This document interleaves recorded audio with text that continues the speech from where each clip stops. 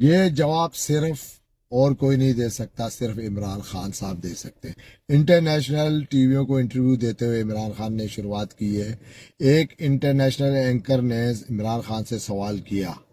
Anchor ने इमरान खान साहब को बोला कि जब मैं आपसे इंटरव्यू लेने आ रही थी तो बाहर लोगों ने कहा कि लोग आपके लिए जान दे देंगे, यानी अवाम आपके लिए जान तक दे देगी। एंकर ने इमरान खान साहब से पूछा कि आपकी उम्र सत्तर साल होगी है और सत्तर साल की उम्र में आपके जिसम में इतनी ताकत नहीं है और वो लेवल नहीं है जो जवानी में होता है। इस बुढ़ापे में अगर आपको जेल में डाला जाए या जेल ले जाए तो आप कैसे मैनेज जब इमरान खान साहब ने जवाब दिया तो एंकर के रोंगटे खड़े हो गए कि ये क्या जवाब दिया उन्होंने जवाब दिया कि जब टाइम आएगा मैं जेल चला जाऊँगा। कोई मसला नहीं। वो हैरान होके इमरान साहब इमरान खान साहब को देख रही है।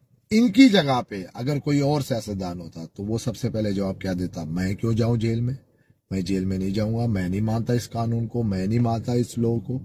मेरे पीछे अवाम है, मैं अवाम का हीरो हूँ, वो अड़ी करता, पंगे करता, मैं कभी नहीं जाऊँगा, वो ऐसा जवाब देगा। इस एंकर ने भी यही सोचा था कि इमरान खान साहब भी ये जवाब देंगे। लेकिन असल लीडर यही होता है।